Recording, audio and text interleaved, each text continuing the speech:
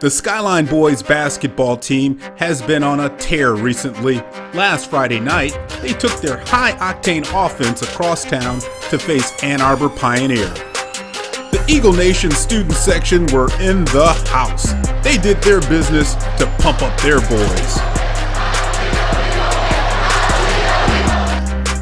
Both teams pushed the tempo early. Here, Derek Murray, who led the Pioneers with 23 points, gets to the rack.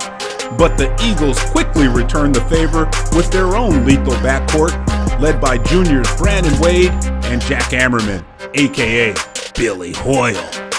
Sophomore Drew Louder, here with a bomb, scored 13 points to go along with 6 rebounds and 6 assists. And despite this bucket by Wade 2.0, the Pioneers led by one at the half. This heavyweight battle continued in the second half, with both teams dropping haymakers. Senior Kayron Rogers, who manned the paint all night for the Eagles, finds sophomore Ryan Wade, who dropped three trays of his own on Pie High. As regulation ended, these teams were tied at 61, so we headed to bonus action.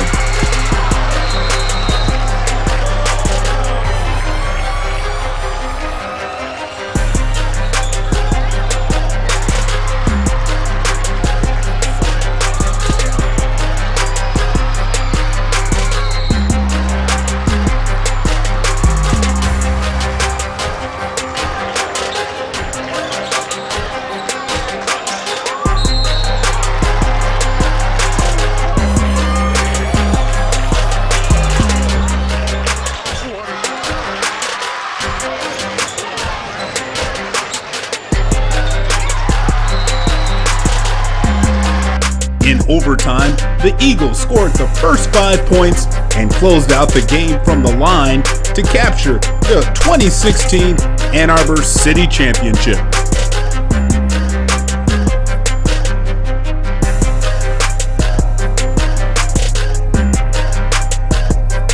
Brandon made two really nice plays to start out, us that four-point lead. That was, uh, I believe it was four-point lead. That was, uh, was a huge start for us. We made two two excellent decisions.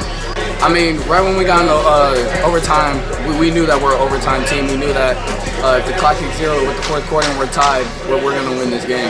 Uh, we're not going to let them smack us in the mouth first. And when we step out there for that overtime, we know we got to hit the first punch and we got to keep rolling. Thank you for watching. This is All Access Vue. Special thanks to Jonathan Knight. Until next time, for Sports Production Services, I'm Kevin Bryant.